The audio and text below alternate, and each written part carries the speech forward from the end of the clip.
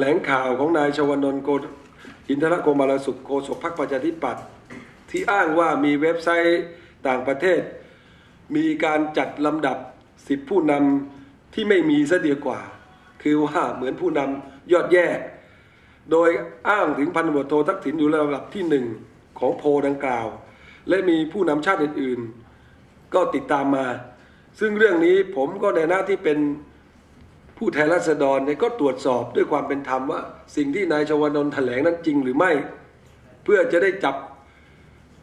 โกหกคำโต ว่าคนที่เป็นถึงโฆษกพักรวมทั้งเป็นตัวแทนพักฝ่ายค้านนั้นทำหน้าที่อย่างไร ผมเองเมื่อตรวจสอบเว็บไซต์นะครับ ก็รู้สึกว่าเวทนาและน่าขบขันในข้อมูลและความพยายามของสมาชิกพรรคประชาธิปัตย์ซึ่งไม่น่าเชื่อครับ เพียงเพื่อต้องการทำลายคนคนเดียว พื่อที่น่าจะใส่ร้ายและทำทำลายความน่าเชื่อเชื่อถือของพันตำรวจโททักษิณนะครับ ทุกวิธีการครับ ไม่รู้จะตกต่ำไปถึงไหนไปขุดเอาข้อมูลจากบล็อกเว็บที่แทบไม่มีคนอ่าน แล้วมาลิงก์ตามสัญญาณนะครับ ซึ่งมันมีตัวอย่างอยู่ ซึ่งเอกสารเนี่ยผมก็ดำเนินการส่วนหนึ่งนะครับปริ้นมาให้กับพี่น้องสื่อมวลชน ซึ่งพฤติกรรมเหล่านี้เรามีการจับพิรุษอยู่ประมาณ 5 ข้อ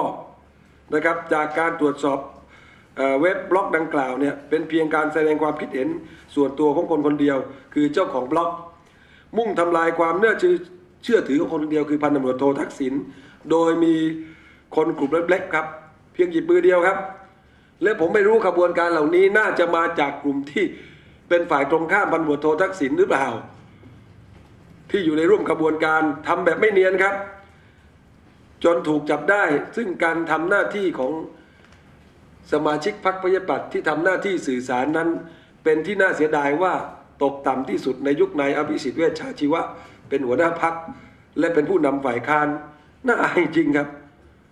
ผมเนี่ยไม่กล้าส่งปี๊บไปให้แล้วครับเพราะส่งไปหลายรอบแล้ว แต่เขาไม่รับ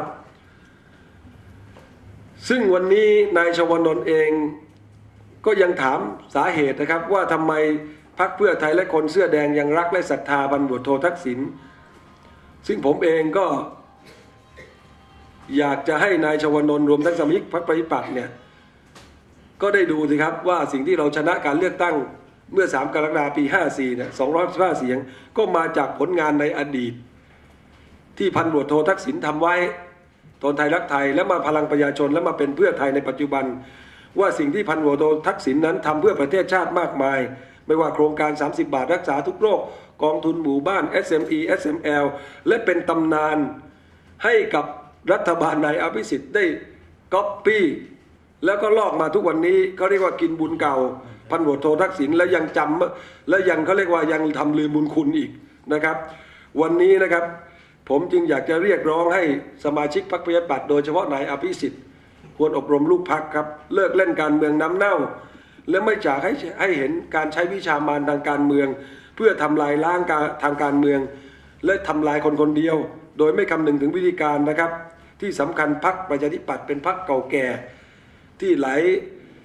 บุคคลที่เป็นบุคลากรที่ทรงคุณค่าได้สร้างพรรคมา แต่มาถูกน่าจะถูกทำลายในยุคที่นายอภิสิทธิ์ เวชชาชีวะเป็นหัวหน้าพักและที่สำคัญมีสมาชิกพักแบบนี้แหละครับ ดีแต่ด่าเป็นฝ่ายค้านก็ดีแต่ด่าพอเป็นรัฐบาลก็ดีแต่พูดนะครับ สุดท้ายปากพาจนครับพาคนไทยจนกันทั้งประเทศ เพราะทำให้ประเทศไทยนะครับไม่ มีความน่าเชื่อมั่นของนักลงทุนรวมทั้งนักท่องเที่ยวนี่ครับลักษณะที่ไม่สร้างสรรค์ไม่เกิดประโยชน์ต่อพี่น้องประชาชนควรเลิกซะดีกว่า